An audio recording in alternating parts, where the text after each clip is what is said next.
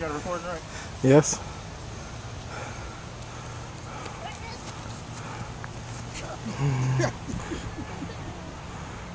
now jump right on top of him, Kamari.